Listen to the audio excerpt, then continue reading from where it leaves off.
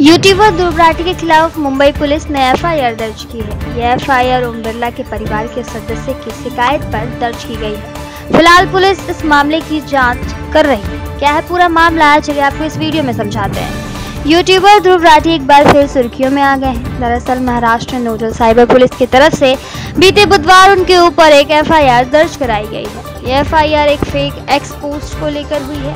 मामले में पुलिस ने जाँच भी शुरू कर दी है और ये पता लगाने की कोशिश कर रही है कि आखिर जिस एक्स से ट्वीट किया गया है, क्या वो ध्रुव राठी का है?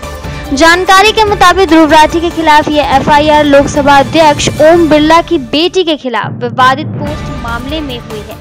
पोस्ट के ज़रिए आरोप लगाया गया है कि उन्होंने बिना परीक्षा दिए ही यूपीएससी क्लियर कर लिया।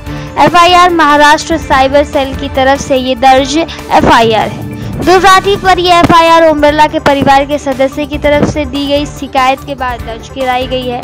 शिकायत में कहा गया है कि पोस्ट के ज़रिए अंजिला बिरला के यूपीएससी परीक्षा को क्लियर करने को लेकर सवाल उठाया गया है, जिसमें कहा गया है कि अंजलि ने बिना परीक्षा दिए ही एग्ज़ाम क्लियर कर लिया है।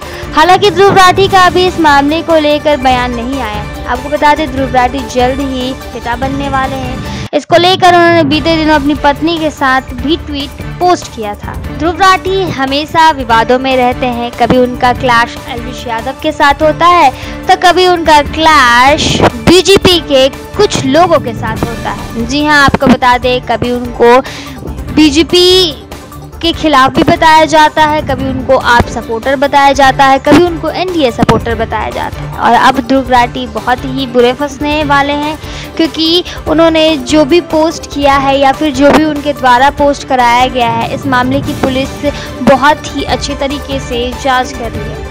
हालाँकि ध्रुव राठी का इस पर अभी कोई भी बयान सामने नहीं आया है और जल्द ही ध्रुव राठी पिता भी बनने वाले हैं। इसको लेकर उन्होंने बहुत पहले ही पोस्ट भी जारी किया था। उन्होंने ट्वीट करके बताया था अपने फैंस को कि वो पिता बनने वाले हैं।